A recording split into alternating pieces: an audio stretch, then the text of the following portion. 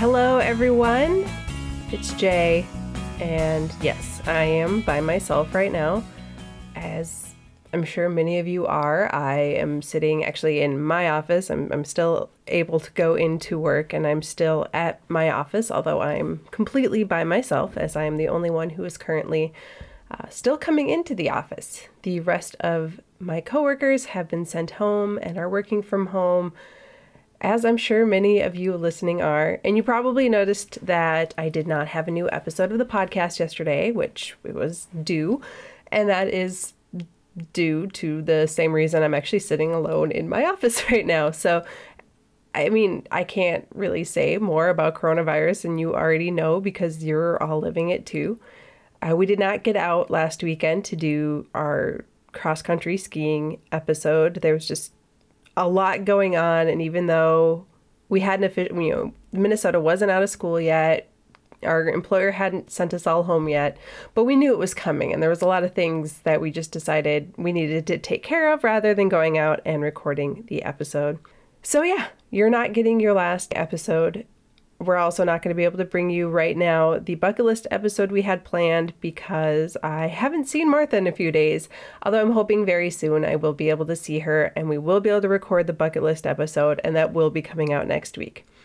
In the meantime, I kind of wanted to bring you some more episodes of the podcast, kind of a nice way to maybe get away. I don't know. I know a lot of people are saying that they're listening to their podcasts still and they're getting disappointed when they aren't releasing new episodes because it's a good way to escape. So I figured I would come back and bring you some more history episodes because this is something I can do by myself in my office.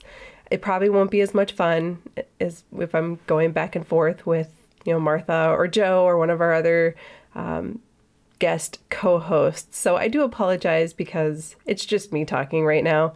Again, I'm hoping we hear and see from Martha very, very, very soon.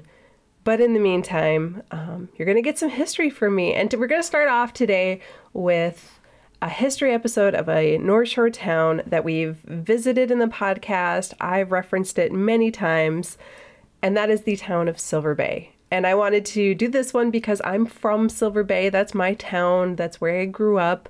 So I, I love Silver Bay. It, it has its flaws. You'll hear about that in just a minute. But I love the town. I love my neighbors. I love my friends growing up. So I wanted to bring you a little bit of history of Silver Bay, probably one of the most passed over towns on the North Shore, simply because you actually have to turn off Highway 61 to go through it. Every other town you kind of, you know, two harbors you drive through. Beaver Bay you drive right through town. Even Schroeder and to an extent, you know, Tofte and Lutsen, although most of Lutsen is the mountain and you have to turn in to get there, but the town of Lutsen you still drive through.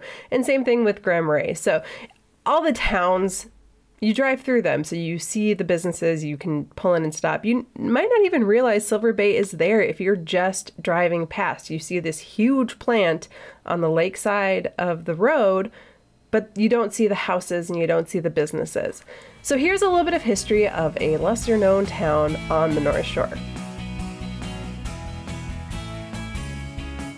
This podcast episode is sponsored by Cascade Vacation Rentals. They know that life has a tendency to be overwhelming at times, and busy schedules often leave people feeling overwhelmed and disconnected. That's why they're here to offer you the space and opportunity to reconnect to what's important. Cascade Vacation Rentals has one of the largest selections of privately owned vacation rental homes and cabins on Minnesota's North Shore of Lake Superior, from Duluth to the Canadian border. Their team is there to help you and your family or small group enjoy a vacation you'll remember for years to come. Visit them online at www.cascadevacationrentals.com and don't forget to use promo code PODCAST for the largest percent off discount available at any given time. Again, that's www.cascadevacationrentals.com. So, most of this history was taken from the silverbay.com website. So, if you go to silverbay.com and click about, there's a little history section. And so that's where I got most of this information from. So, in 1945, Reserve Mining Company, through the Northern Land Company and Lake Superior Land Company, which by the way, another fascinating history story I will plan to bring you someday soon. uh, those two land companies. Anyway, they, they started acquiring, Reserve did, started acquiring the land northeast of Beaver Bay. The land was paid for in cash, and there was an attempt to keep the acquisition pretty secret. Supposedly, it was to not drive up land prices nearby, although I do have a suspicion too that they didn't want to make their plans known in case there was some local opposition to the building of a taconite plant, which is what eventually went there. The initial rumors were that a large resort was coming to the area, but in 1946 it became very clear that this was not a purchase that was going to be used as a resort because reserve mining started to flag out and build their processing plant. The Reserve Mining Company obtained the necessary state and federal permits to begin construction on the taconite processing plant in 1947. However, the clearing of land actually didn't begin until 1951, and then construction would virtually happen night and day as they just rushed to get this huge project built. It was finally completed in October of 1955. Now, houses in the town were originally limited. They were just kind of expecting like young single men to come up and work in the plant, and they weren't really expecting a lot of people with families. So initially, the houses were limited to just people working in senior positions in the plant. The company then built a barrack style housing with dormitories and a cafeteria, and that's where most of the workers would live. Uh, this is actually now, I used to think that area was the old apartment buildings that if you pull into town and you drive up uh, Banks, if you know Silver Bay at all, and you know, there's two main roads that kind of go up inland from town. So Outer Drive is where you come if you just turn at the lights and you drive straight up, you're on Outer Drive. But if you go a block inland, basically you're on Banks.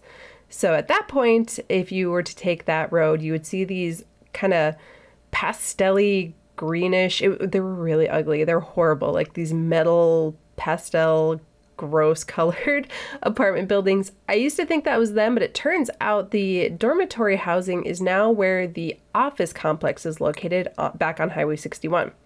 Those apartments were built later, partially actually to house the teachers that they were bringing in. So I'll get to that in a minute, but if you're trying to visualize Silver Bay and visualize where this barrack style housing was, it was where the offices are, not those apartments. They also built a trailer court for those coming with families, which they quickly realized they couldn't just have these barrack styles because people were showing up with families and other people were coming to support the town as teachers and shop owners and things like that.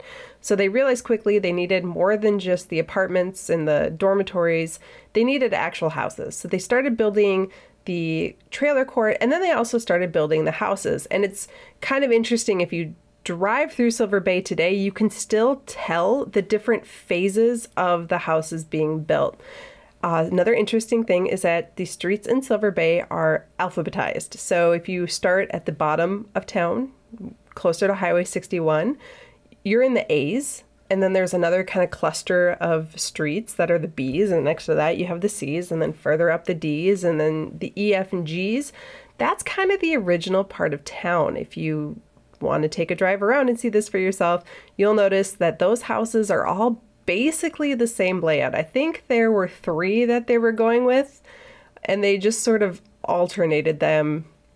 You know, this is based on me being inside of several homes in the Silver Bay area growing up. Uh, living in one, my parents now live in a different one that has a different layout than our first one. And just going into everybody's houses, they're all basically the same. They just sort of rotated them and then moved like where the kitchen and the living room are. That's it. Like everybody lived in the same house. It was very interesting. So anyway, uh, originally houses were very limited though. Only the seniors had them. Um, kind of the senior executives and managers and things like that. And during this time, the town was known as the Beaver Bay Housing Project. But then on May 1st, 1954, the town was officially named Silver Bay, and one of the first houses built in town actually became the post office. And then Silver Bay was issued its own mail canceling stamp, thus officially becoming a town. 1956 was another banner year for Silver Bay. The last of the six original pelletizing machines was fired up in February, and the first shipment of pellets went out on the C.L. Austin ship in April. In March of that year, Compton Elementary School was opened in order to alleviate the burden on Beaver Bay School, which was just this tiny two room schoolhouse that was completely overflowing with kids at this point. Uh, Compton School would later close down and become the Veterans Home. So, if you know where the Veterans Home is, that's where the original elementary school was. Then, after the $350 million investment, the Reserve Mining Company plant was officially dedicated on September 3rd of 1956. Then, in October 16th, Silver Bay voted to incorporate with a mayor council form of government. So at that point, the plant is up and running. There's people, there's a school, there's shops opening up. The plant is fully up and running, and they now have a mayor. Big year for Silver Bay. 1958 was another big year when William Kelley High School, which was named after Reserve Mining's first president, was opened. And before then, and if you listen to the Ghost Town episode of this, this kind of crosses into that a little bit. Before that time, Silver Bay students were bused 28 miles down to Two Harbors. Now, if you remember um, Mineral Center and Forest Center, those towns would actually bus their kids and they would dorm in Ely because that was closer. But when Silver Bay opened their school, then not only were the Silver Bay students able to go there, but these little tiny towns that had kind of popped up in the area, they were also able to send their kids to a closer school. So Silver Bay kids now had their own high school, their own elementary school. Things were looking pretty good. 1958 was also the year that Reserve Mining sold its downtown strip mall to private owners. So before then, the entire town was completely owned by the company, company run. It was a company town in every single way you could think of. But at that point, new owners were coming in, things were kind of expanding out past the plant. They were trying to really grow Silver Bay as a town. In fact, the Duluth News Tribune once stated that the Silver Bay Shopping Center was, and this is a quote here, expected to be the largest on the North Shore north of Duluth. So if you've been into Silver Bay, you know that this did not end up becoming true. And we'll kind of get into why. Silver Bay Strip Mall never became much more than like a six, seven, maybe eight, like store strip mall.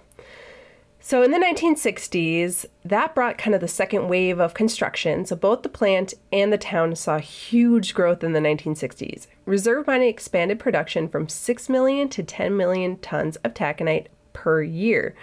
And with that expansion came about 400 new jobs. So this brought more houses, more stores, and then they also opened up the Murray McDonald Elementary School to accommodate the growing number of kids. In 1964, Rocky Taconite, which of course we've had that episode not too long ago, the history of the statues of the North Shore, we told you all about Rocky. Well, he was installed and came to symbolize Silver Bay as the quote, taconite capital of the world things were going really, really good for Silver Bay at this point. The population soared to almost 3,000 people, if not at one point over 3,000. But that's kind of where things started to fall into troubled times. For years, reserve mining was coming under increased pressure to stop dumping its waste rocks, like the taconite tailings, into Lake Superior. On February 17, 1972, the U.S. Justice Department filed a lawsuit against Reserve for violating the Rivers and Harbors Act of 1899, which prohibited the dumping of harmful materials into interstate waters. Exploring the North Shore is sponsored by The Big Lake. The Big Lake is an approachable art gallery and gift shop located in the beautiful harbor town of Grand Marais, Minnesota as well as online at thebigLakeLife.com. The Big Lake provides a beautifully curated and fun shopping experience to complement your North Shore adventures with artists and products that reflect the culture, values, allure, and lifestyle of the North Shore. Shop online at www.thebigLakeLife.com and use promo code EXPLORE for 15% off your first online order. For five years, the trial just kind of dragged on, leaving everybody in Silver Bay wondering if they would continue to have their homes and their jobs or if their entire industry was going to be shut down. Finally, on July 7, 1977, Reserve Mining was given permission to build a tailings storage basin seven miles inland from Silver Bay in an area now known as Mile Post 7, which is a bit of an urban legend, although it's actually real. It exists and it's it's there. So it's not really an urban legend, but there's a lot of stories around it that aren't true. But yes, so um, Milepost 7 is a place. It's where they then dumped their waste tailings. Just two years later, when everything seemed to be getting back to normal in Silver Bay, there was a sudden decline in demand for steel. During this time, especially on the Iron Range, we saw a lot of the mills and the mines and plants starting to close, and this put thousands of people out of work. Reserve Mining was forced to cut production at the Silver Bay plant, and work Workforce finally closed on July 31st, 1986, and the plant was idled, completely shut down.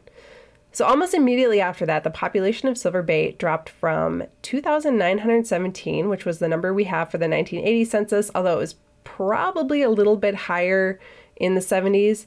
But by the 1990 census, it was down to 1,894 people.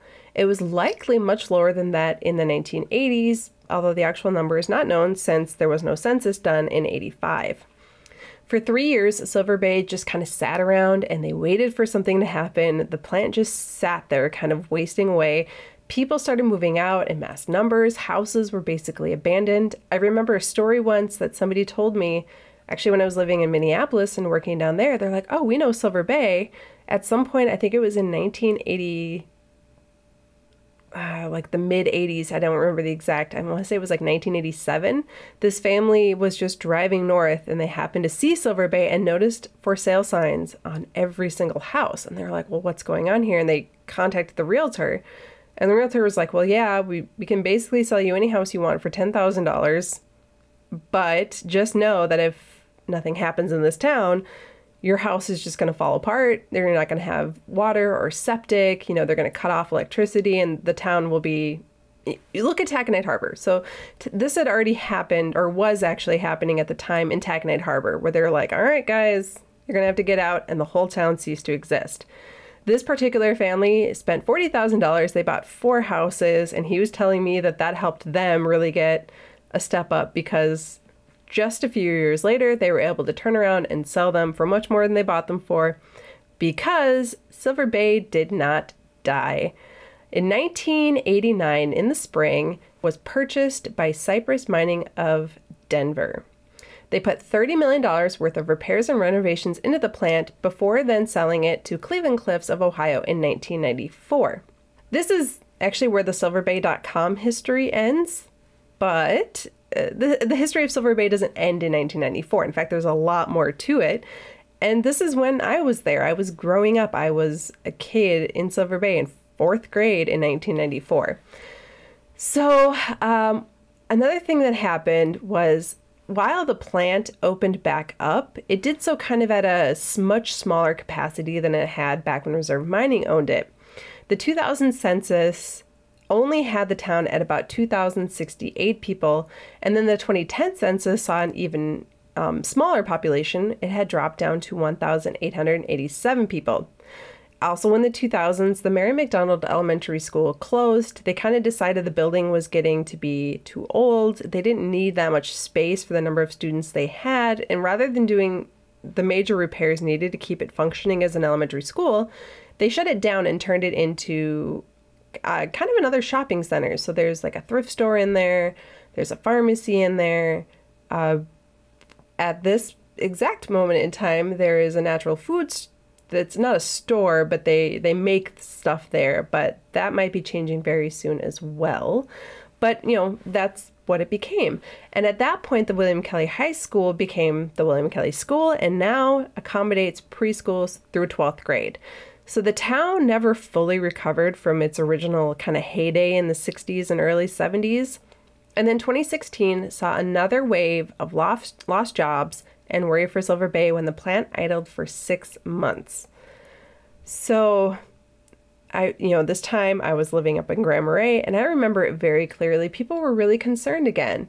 My dad was the pharmacist in Silver Bay, the only pharmacist in Silver Bay for many, many, I mean, he, there, there's only one pharmacist in Silver Bay. Still, it's not my dad anymore because he re- retired in July of 2019. But he was even thinking, okay, I might lose my job. This town might not be able to support a pharmacist. and they started looking at other positions. So, I mean, this was kind of a big, serious time for Silver Bay history. Luckily, they were able to reopen again after the six months. But even with the plant going, there's always kind of that looming threat, I think, at that point on the longevity of the mining and whether or not it could happen again. Again, look at Taconite Harbor. That never recovered to the point where the town isn't there anymore. The plant's pretty much completely shut down, and everybody who used to work there is gone. They're somewhere else. Only time will tell at this point what Silver Bay will look like, you know, 10 years from now, five years from now, even. They went from a small booming city to virtually a ghost town in just two years in late 80s, and then, you know, came back to a point, although it's still not quite as much. There may be some light at the end of the tunnel for Silver Bay, however. Recent expansions of Black Beach, which is a, it's actually a a beach that was created from the tailings that taconite or that reserve mining used to dump into the Lake Superior. Don't worry, it's not toxic. A perfectly safe beach, but they opened it up to the public and they're did a groundbreaking just last year in 2019 for the Black Beach Campground. So pretty soon Silver Bay is going to start seeing a little more tourism, which they hadn't really had before. Last year also saw the creation and the opening of the North Shore Adventure Park right there along Highway 61, which we have covered in the podcast in the past. So as years go on, we may see more attempts. In fact, I hope we see more attempts from Silver Bay to make their little community a little tourism destination. I don't think it'll get to the point that Grand Marais is at or, or at Lutsen Mountains is at with, you know, the ski hill and stuff.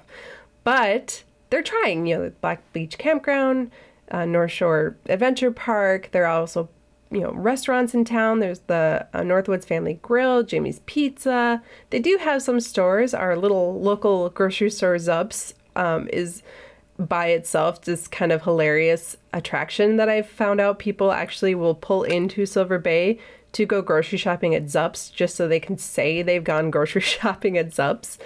Uh, but yeah, so there, there's stuff going on for the town.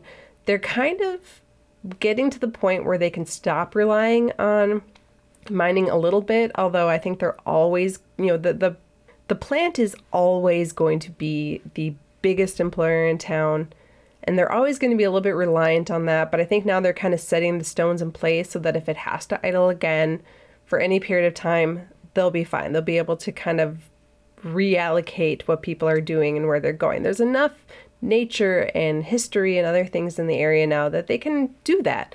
Tettegouche State Park is really close by. They have a really nice visitor center. It's pretty new, built just a few years ago. And so that's the sort of way that Silver Bay is really trying to capitalize not just on the iron ore aspect of their town, but also on the beautiful natural things that are there. So next time you're you're driving up the shore, take that left turn at those lights on Highway 61 and go check out Silver Bay. Again, it's really interesting just to drive around the town and kind of see where, okay, this is where the stuff was built in the 1950s. Those ugly apartment buildings were torn down and replaced with a, um, I think it's a assisted care facility now. And you can just drive around town and kind of see this evolution and see where in the 80s they built some more houses just before they shut down. And then after they picked back up in the 90s, they started building more houses. And then an entire neighborhood was kind of plopped into the, you know, northern part of town in the 2000s. You can see all this, and it's really fascinating to drive around and see. So, next time, swing in, check it out, maybe spend the night. You know, American Inn is there, there's a few vacation rentals in the area, Cove Point and Beaver Bay. You know, there's just options now. So, that is the history today of Silver Bay. So thank you for tuning in, and I'm hoping to bring you a lot more of history and maybe some, you know, news and updates. Of course, we're all in the same boat with this coronavirus shutdown. We're all just kind of sitting at home looking for something to do. So I'm hoping I can bring you a few more episodes in the next couple of weeks and keep you at least a little bit entertained and thinking about the North Shore, even if you can't come up to the North Shore right now. And then when you're able to again, we hope we see you back up here again very soon. We miss all of you. It's very, very strange being up here without people from other places coming to visit. It's always been really fun to run into people at stores and when you're out and about and learn where they're from and why they came here. And it's really sad that I can't do that right now. I didn't realize how big of a part of my life that was until it was gone, even for this very short period of time. Because really, I'm recording this on March 18th. I plan to release it on March 18th. So this is me talking today about that. Um, so, yeah, everybody, you know, stay home, wash your hands, stay healthy, and I'll be back again very soon.